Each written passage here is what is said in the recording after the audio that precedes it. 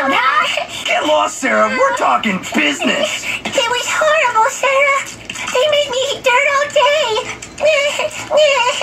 What? Ah! Man, he's real good.